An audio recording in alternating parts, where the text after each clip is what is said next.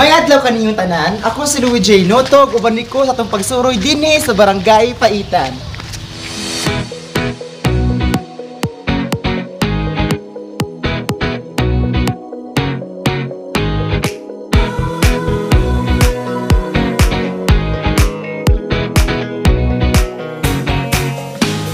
Barangay Paitan is one of the most prominent barangay here in Quezon.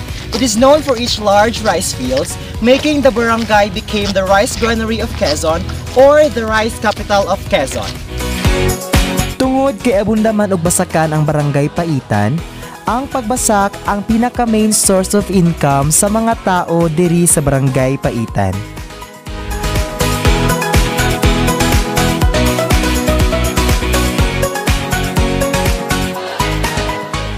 Apan dili lamang kana, ang mga taga-paitan kay naila usab sa pagkahilig sa business. Kung ikaw gilaay o gigutom, ana ang tiya mo nga usa sa mga ginaduaw sa mga tawo dinhi sa barangay Paitan para mag-relax o magpakabusog.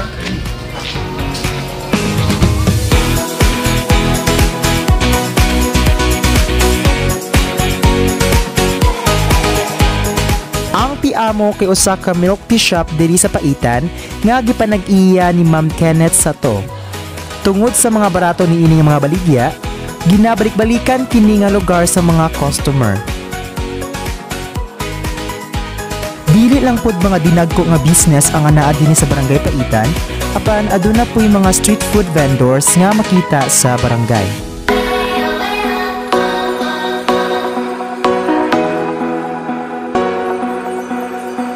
Kung ikaw nabusog na sa mga pagkaon diri sa Barangay Paitan, ali na kay itong busugon ng imong mga mata diri sa Balmores Garden.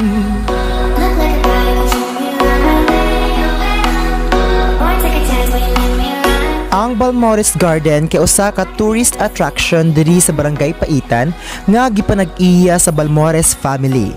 Ug isa kini sa mga ginaduaw nga tourist spot dinhi sa Barangay Paitan.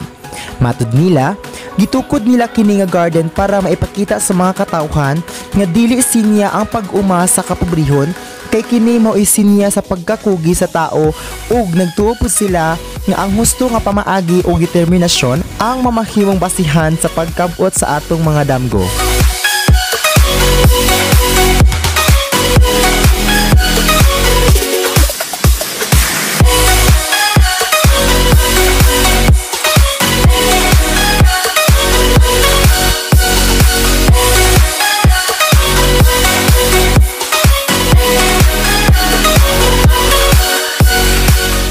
Anaapod ang Paitan Dam nga connect sa Barangay Paitan ug Dagat Kidabaw.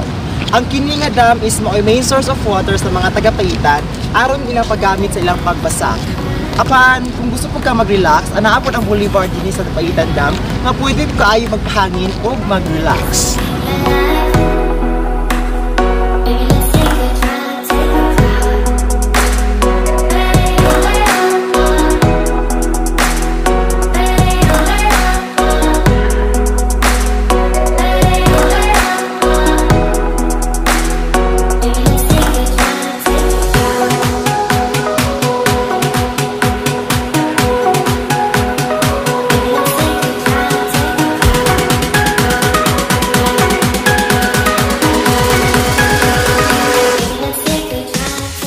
Ba mo nga dili lamang abunda sa mga tourist spot ang Barangay Paitan?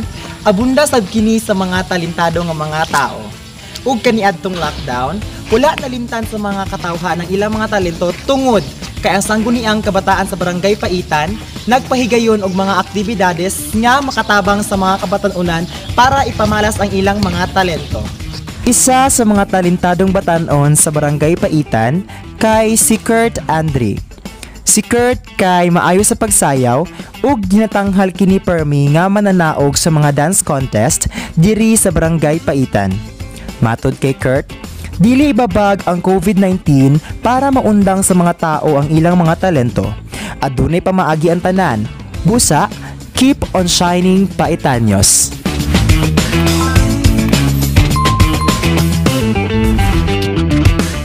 Ang barangay Paitan kay dili lamang abunda sa humay. Apan abunda pud kini sa mga buutan nga mga tao nga i-welcome jud kamo. Naagian man kita og lockdown, dili kini may mahimong rason para kita dili magpadayon sa tong pagpanginabuhi. Remember, we are Filipinos and we are born to fight no matter what challenges we are facing. Again, I am Louis J. Noto and we, the Paitanios, welcome you all to Barangay Paitan. Ali na mo!